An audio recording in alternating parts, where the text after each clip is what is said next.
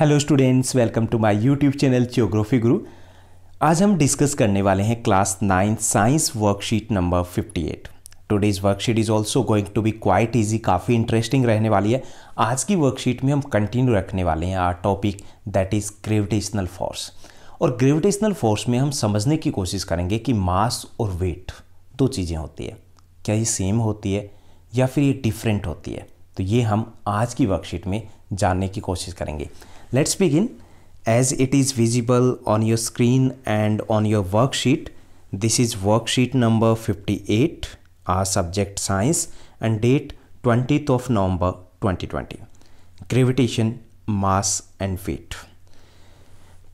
Again, question is there from Gyan. What is the difference between the mass and weight of an object? किसी भी वस्तु का कोई भी ऑब्जेक्ट है उसका मास और वेट क्या अलग अलग होते हैं या सेम ही होते हैं? या ये सब जगह सेम रहते हैं या अलग अलग रहते हैं? ये हम समझने की कोशिश करेंगे। We know that mass of an object is the measure of its inertia greater the mass of an object greater will be its inertia the mass of an object is the amount of matter it contains अगर हम मास की बात करें मास का मतलब होता है कि अंदर क्या है? जैसे आपके स्कूल में, आपके क्लासरूम में एक अलमीरा है ओके okay? तो वो अलमीरा है और उसके अंदर जो कुछ भी है, वो क्या है? वो मास है उस ऑब्जेक्ट का। ऑब्जेक्ट क्या है? अलमीरा है। और उसके अंदर जो कुछ भी है, वो मास है। और जितना अधिक मास होगा, उतना ही इनर्शिया का मतलब है उसका जड़ता, यानी कि उसको शिफ्ट करना उतना ही मुश्किल हो जाता है।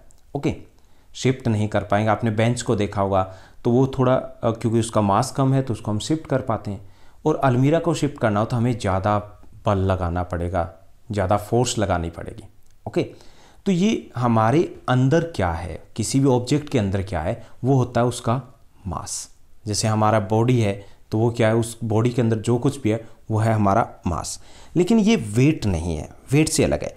Where is the weight of an object at a place is the force which the celestial body earth attracts the object यानी कि वेट क्या है? Weight depends on the gravitational force depend करता है ग्रेविटेशनल फोर्स के कारण। यानी हमारा जो वेट होता है, वो अर्थ के ग्रेविटेशनल फोर्स के कारण है। ओके मास से इसका कोई लेना देना नहीं है। यानी mass is a different thing and weight is a different thing weight depends on किसके ऊपर डिपेंड करता है? On the gravitational force and जो मास है it depends on what is there inside that object object के अंदर क्या है? वो मास होता है।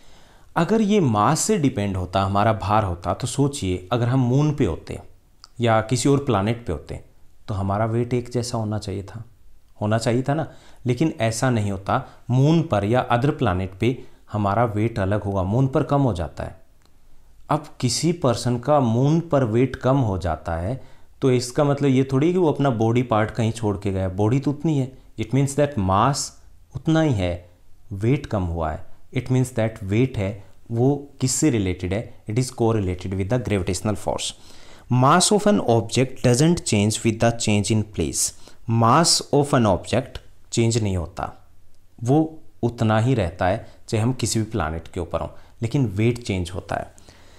अब हम थोड़ा और समझने की कोशिश करते हैं कि weight of an object on moon कि मून के ऊपर किसी ऑब्जेक्ट का वेट कैसे हम कैलकुलेट कर सकते हैं। तो सिंपल सा रहेगा, हमारे पास यूनिवर्सल ऑफ़ ग्रेविटेशन है, सब हम अच्छे से पढ़ चुके हैं, उसमें हम एम को फिट कर देते हैं, यानी कि मून हम ले आते हैं। तो वेट ऑफ़ मून जो एम है that is represent the moon G M capital M multiply by the small M capital M here is representing the mass of moon है यहाँ पर, और M is the mass of an object and R square R क्या यहाँ पर radius है। Okay. ऐसे हम अर्थ का अगर हमें निकालना हो तो हम कैसे करेंगे? यहाँ पे हम ई यूज़ करेंगे। ई इज़ रिप्रेजेंटिंग अर्थ, बाकी सब कुछ सेम रहेगा। तो ये हो गया कि किसी भी ऑब्जेक्ट का अगर हमें मून के ऊपर वेट कैलकुलेट करना और ये हो गया अगर हमें वेट कैलकुलेट करना है उसी ऑब्जेक्ट का अर्थ के ऊपर। अगर हमें डिफरेंस कैलकुलेट करना है कि दोनों में क्या डिफरेंस होगा, कहाँ कम या ज़्यादा होगा तो हम क्या करेंगे? कि we can calculate this by dividing equation one जो है, उसको डिवाइड करेंगे इक्वेशन टू से। तो this is the equation one divided by the equation two यहाँ पे हम वैल्यू को पुट करेंगे और हमें मिल जाएगा this is one by six यानी कि किसी भी वस्तु का, किसी भी ऑब्जेक्ट का वेट है, वो छः गुना कम हो जाता है मून के ऊपर। ओके तो सिंपल सा इक्वेशन है कि हमने कुछ नया नहीं यूज़ किया, यहाँ पर आपको कुछ अलग से नहीं करना है। यहाँ पे हमने यूनिवर्सल लॉ ऑफ़ ग्रेविटेशन ही यूज़ किया है।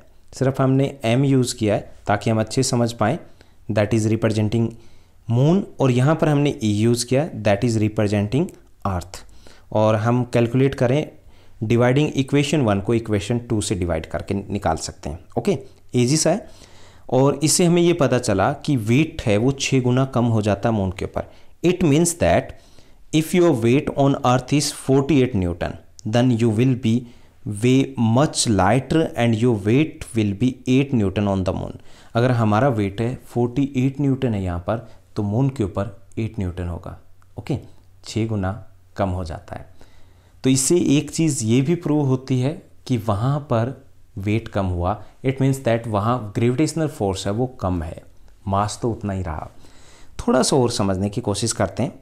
बिल्कुल क्लियर हो जाएगा ये concept the force of attraction of the earth of an object is known as the weight of the object यानी कि जो फोर्स ऑफ़ अट्रैक्शन है, उसके ऊपर डिपेंड करता है किसी ऑब्जेक्ट का वेट कितना रहेगा अर्थ के ऊपर। Weight is the force acting downwards कि वेट क्या है? जो फोर्स हमें नीचे की तरफ़ खींच रही है। It has both magnitude and direction दोनों चीज़ होती है, इसमें मैग्नीट्यूड भी होती है और डायरेक्शन भी होती है। The weight of an object on the celestial body earth की बात करें अर्थ के ऊपर changes due to the gravitational force of that celestial body acting upon it कि ये जो वेट है, वो किसी भी प्लानट पे जाएँ, वो अलग अलग होगा। क्योंकि ग्रेविटेशनल जो फोर्स है, वो अलग अलग होती है।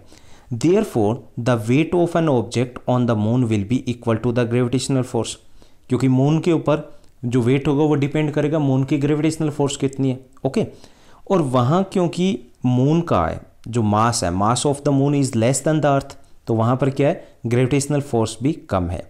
और ग्रेविटेशनल फोर्स कम है तो इसलिए वहाँ पर वेट कम होता है। ओके okay, तो एक चीज़ क्लियर हुई कि mass and weight are the two different things mass remains same and weight depends on the gravitational force of that celestial body और अर्थ और द प्लानिट्स उसके ऊपर डिपेंड करता है okay now let's move to the question answer आज की इस worksheet में फोर इजी क्वेश्चन दिए गए। उससे पहले कुछ और चीज़ डिस्कस करनी है कि जो यूनिट होती है मास की, वो केजी होती है और जो यूनिट वेट की होती है, वो न्यूटन होती है। न्यूटन ओके एन से इसको रिप्रेजेंट कर सकते हैं। Now let's move to the question answer four easy question are given in this worksheet बेहद आसान से क्वेश्चन दिए गए इस वर्कशीट में। First question is there where will the mass of an object be lesser on moon और on the earth explain कहाँ पर किसी ऑब्जेक्ट का जो वेट होगा, यहाँ पे वेट की बात की जानी है। यहाँ पे मास की बात जो बाय मिस प्रिंट है यहाँ पर यहाँ पर वेट होना चाहिए। Where will be the weight of an object be lesser on moon और ऑन द अर्थ एक्सप्लेन करना है। तो यहाँ पे आप वेट करोगे। The weight of an object will be lesser on the moon moon के ऊपर कम होगा। Because it exert lesser gravitational force as the moon's mass is less than the earth क्योंकि मून का मास वो कम है, इसलिए ग्रेविटेशनल फोर्स है वो कम है, इसलिए वस्तु का ऑब्जेक्ट का वेट है वो मून पर कम रहेगा। ओके? क्योंकि हिंदी मीडियम में यहाँ पे वेट है तो यहाँ पे वेट रहना चाहिए। अगर हम इसको मास मान के चलें, ओके? तो यहाँ पर हम मेंशन करेंगे कि mass will remain same on the earth and moon, okay? Mass अगर रहेगा तो वो तो सेम ही रहेगा। Now let's move to the second question. Second question is there. Derive the mathematical expression to find the weight of an object on the moon in comparison with that of the earth. हमें क्या करना है? कि moon और अर्थ के ऊपर किसी भी ऑब्जेक्ट का वेट है, वो हमें कैलकुलेट करना है डिफरेंस भी बताना है। तो कैसे करेंगे? अभी हमने डिस्कस किया था पहले क्या है कि weight of an object on the moon हम ये फॉर्मूला यूज़ करेंगे। Okay that is the universal law of gravitation है, सिर्फ़ हमने एम पुट किया यहाँ पर। और अर्थ के लिए भी हम सेम फॉर्मूला यूज़ करेंगे। यहाँ पे ई e पुट किया है दैट रिप्रेजेंट अर्थ ये भी यूनिवर्सल लॉ ऑफ़ ग्रेविटेशन है। अब हमें कैलकुलेट करना हो कंपैरिजन करना हो तो क्या करना है? Dividing equation one by equation two and putting the values values को पुट करेंगे तो हमें मिल जाएगा। तो हमें सिर्फ़ इतना ही बताना है कि इस तरीके से हम कैलकुलेट कर सकते हैं। Now let's move to the third question third question is there. On what factor does the weight of an object depends and which is taken to another planet कि on what factor does the weight of an object depend? कि किसी भी object का wait है, किसके ऊपर depend करता है? अगर हम दूसरे प्लानट पे उस ऑब्जेक्ट को लेके जाते हैं। The weight of an object on any planet depends on the force of gravity force of gravity है, उसके ऊपर डिपेंड करता है, चाहे हम किसी भी प्लानट के ऊपर हों। Fourth question is there the weight of a person on the moon is ten newton what will be his weight on the earth अगर वहाँ पे टेन न्यूटन है तो यहाँ सिक्स टाइम्स ज़्यादा होगा तो ये सिक्सटी न्यूटन हो जाएगा। ये थी हमारी आज की ईजी सी वर्कशीट आई होप दैट आपकी स्टडी अच्छी चल रही होगी। ऐसे ही हमारे साथ बने रहिए लाइक शेयर सब्सक्राइब ज़रूर कीजिए और हाँ छोटे से कमेंट्स भी। Thank you bye bye have a nice day